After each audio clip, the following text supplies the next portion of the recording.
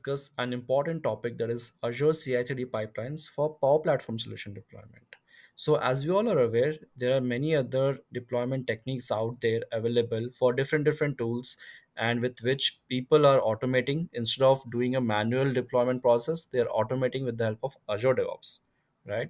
So, with respect to our specific Power Platform deployments, we do have our several uh, set of pipelines configured in Power Power Platform Studio, as well as we can do a manual uh, efforts like we can export the solution and then we can move into different environment, right? Like importing the entire solution to different environment.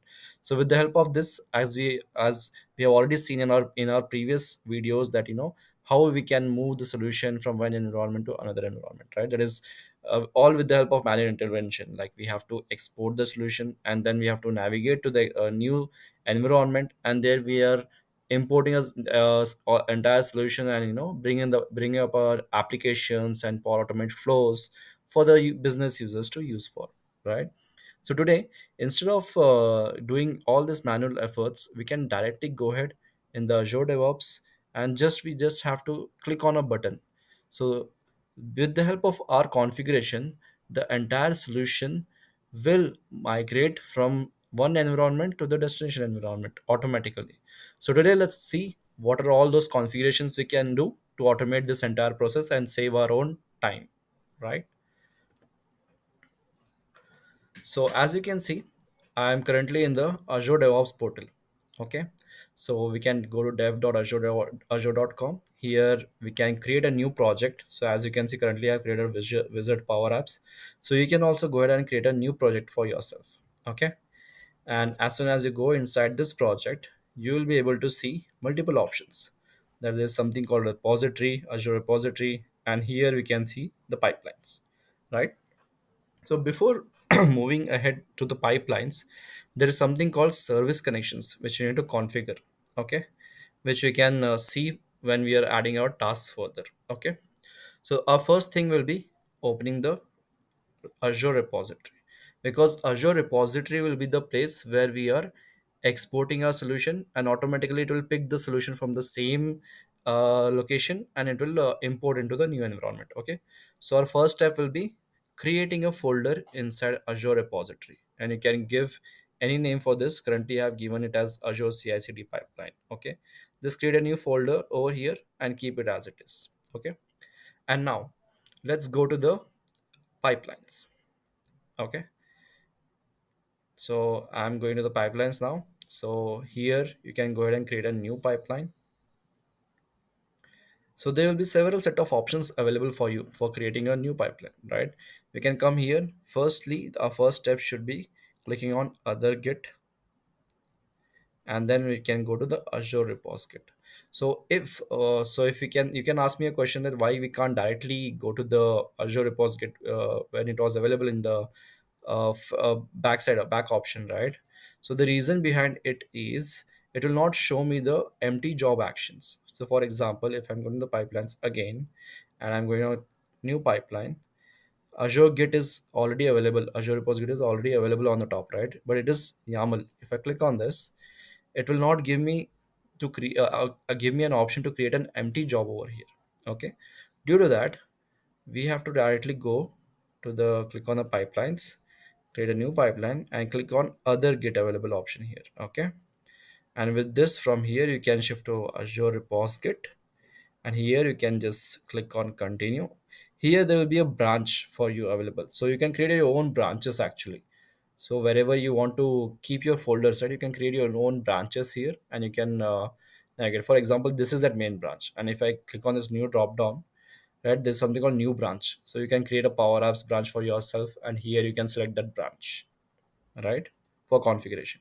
So i'm selecting the main itself and i'm saying continue okay? Now if you see there are many other options available out here like yaml dot desktop many other things. But what we need is empty job. So you can select an empty job here. So whenever you select an empty job it will show you this kind of configuration okay? But before proceeding further we have to do few changes in this default configurations okay?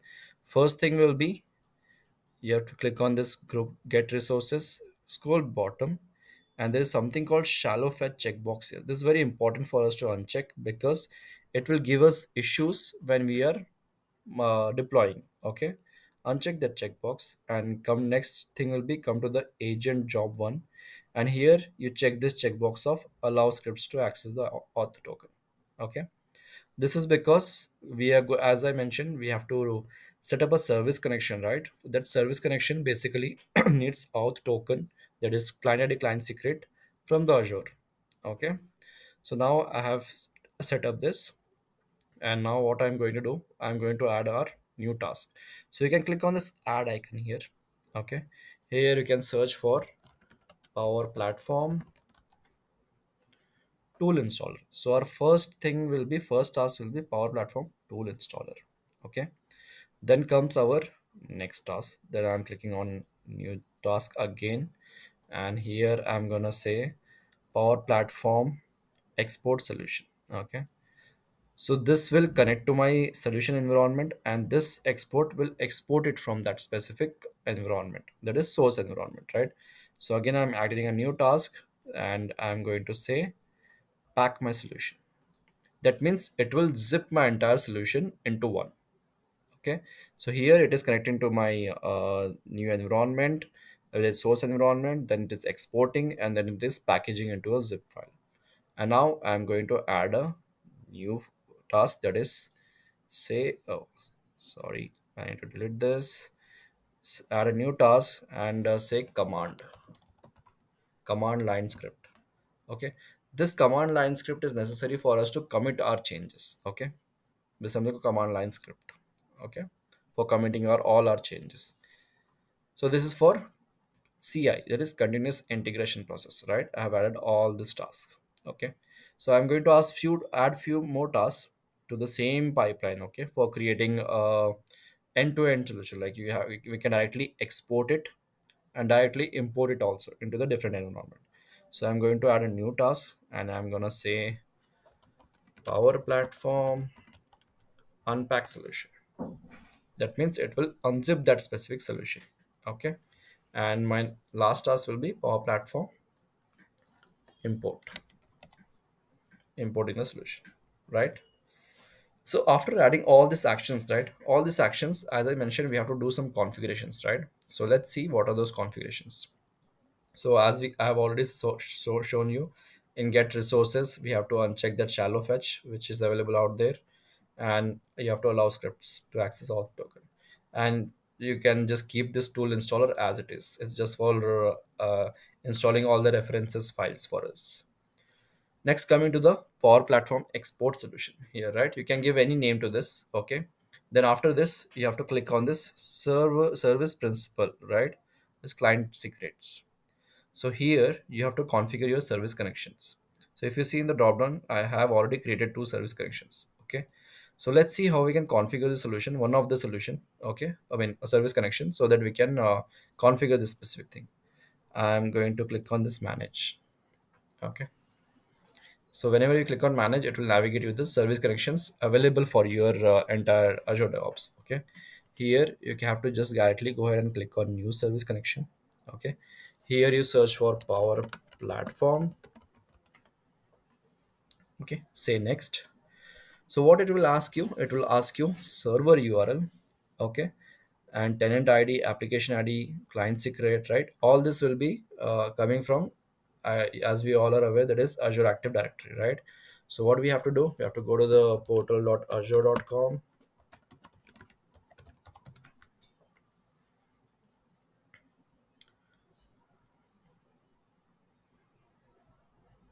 Okay. And here you can search for app registration, right?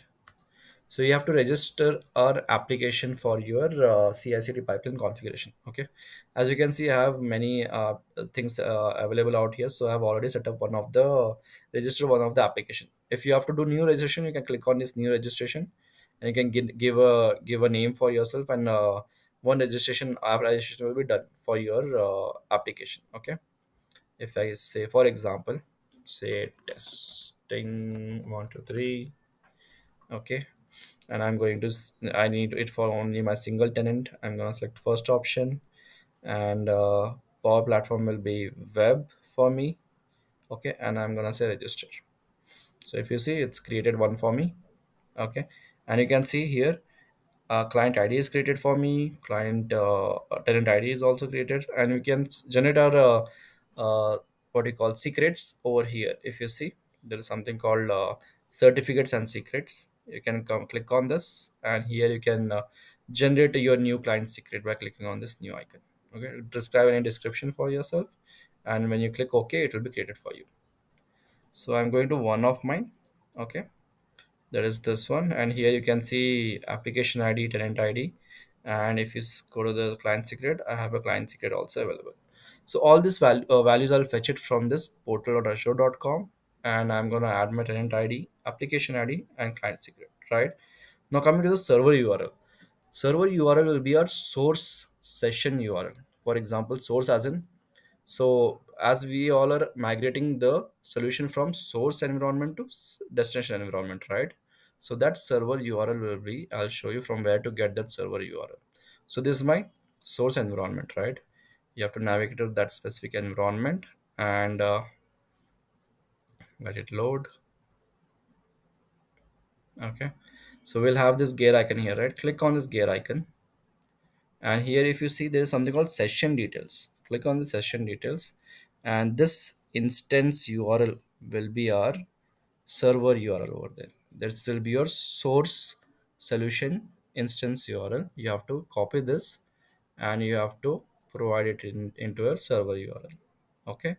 And the, then you can name your connection name and uh, you can, you know, this is optional for you.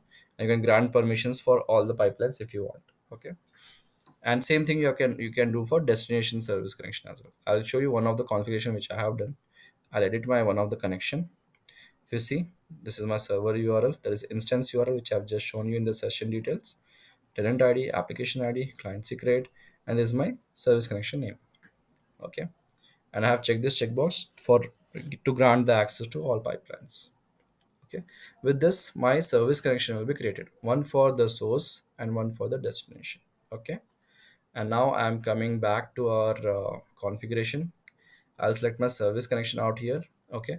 Let me open one of the recent uh, pipeline which I have created so that you know it will be very easier for you guys to go through.